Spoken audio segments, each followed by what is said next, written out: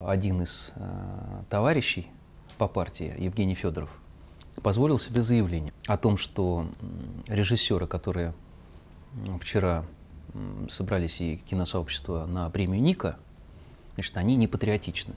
Я бы, откровенно скажу, не стал обвинять в непатриотизме тех людей, которые призывают к диалогу с э, теми, кто по-другому мыслит, с молодежью. Вообще тему патриотизма я бы никому не советовал узурпировать и присваивать. Это, это, это неправильно. А, вот подобного рода заявления, они обижают, оскорбляют людей.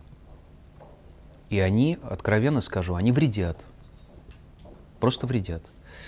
И э, я позволил себе напомнить некоторым товарищам по партии о том, что один из главных принципов и тезисов нашей партии – слышать людей.